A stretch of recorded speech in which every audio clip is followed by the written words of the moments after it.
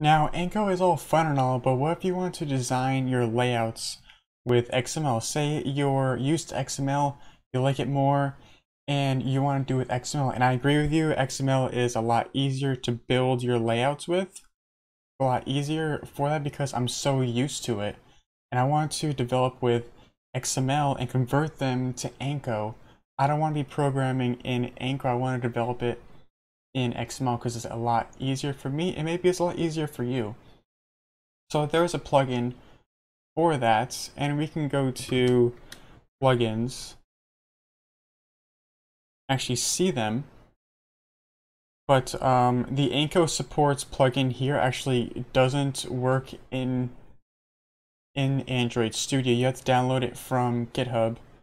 And um, uh, there was this nice person on GitHub um, over here, and I'll put this this link in the description. But um, there's an issue here, and there's a plugin here, and you just um, download that. You download that, and then just go into plugins, and then do install plugin from disk, and then put in the the plugin from your downloads, and then we start. I already did that. Um,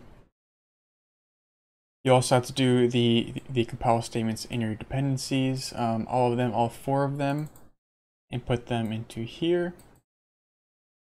And I'll show you my version, my version 0.10.1 as of right now. Uh, and then go into your XML. And then you can design all you want, you know, wrap content, uh, what else?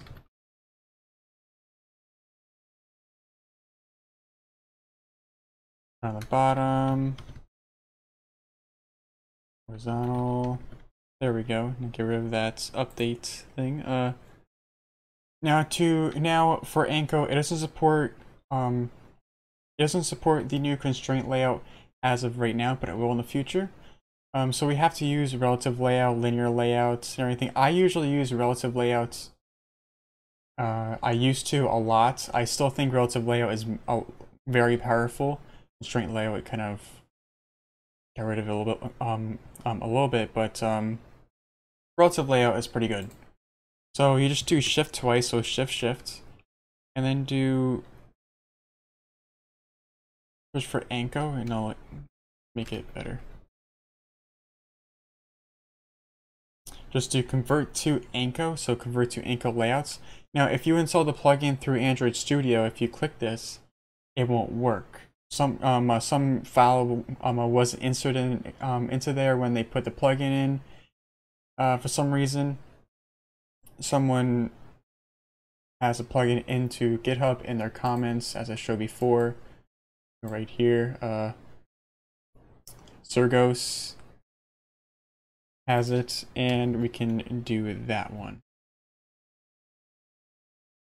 Look for it to Anko and click that and automatically converts to it. Now it it puts it to this weird class. I don't use this class.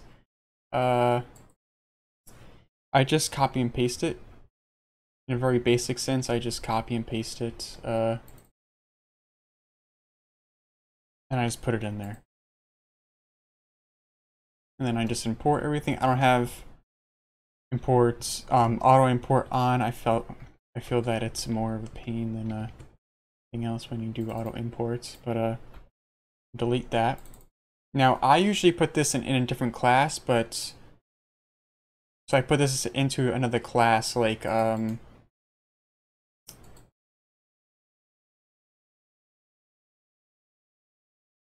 like layouts and then class layouts. And then I put it in there, but, but we're not we're not going to do that. We're just going to put it in here so it's a little easier and now we just play it. And this is so um, perfectly fine. Now, now Anko is a lot faster than XML. That is the reason why you want to do Anko DSL because it's a lot faster. Not exactly for, you know, the the ease of use because this definitely, for me at least, isn't easier for me. I like the XML better. I think it's a lot cleaner, but that's uh, your opinion. Everything. So so it worked fine. It worked perfectly fine, exactly the same and that's how you convert XML to Anko.